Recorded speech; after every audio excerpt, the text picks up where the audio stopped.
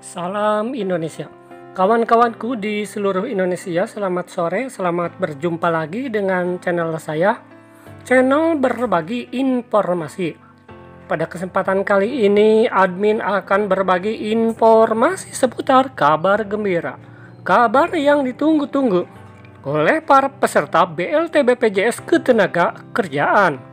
Di mana pemerintah sudah menyetujui bagi para peserta BLT BPJS Ketenaga Kerjaan yang terdampak oleh PPKM darurat berada di wilayah atau level 3 dan level 4 akan menerima BLT BPJS atau bantuan subsidi upah sebesar Rp1.200.000.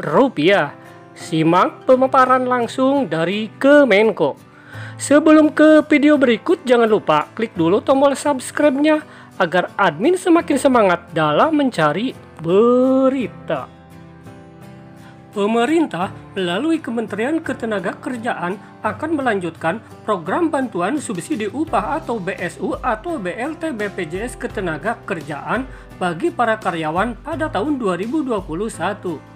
Tentunya ada beberapa tipe karyawan yang dapat BLT BPJS Ketenagakerjaan di tahun 2021 tersebut.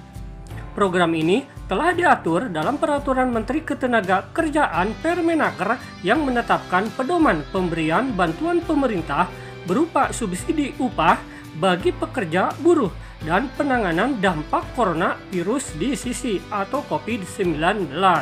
Dan mari kita simak bersama pemaparannya.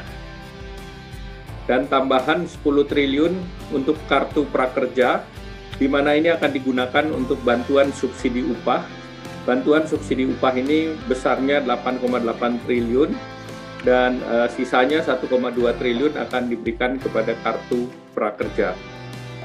Bantuan subsidi upah ini diberikan kepada uh, pekerja yang mendapatkan uh, tercatat di BPJS Ketenagakerjaan dan ini untuk level 3 dan level 4 uh, untuk diberikan uh, bantuan ini dua kali 600 ribu.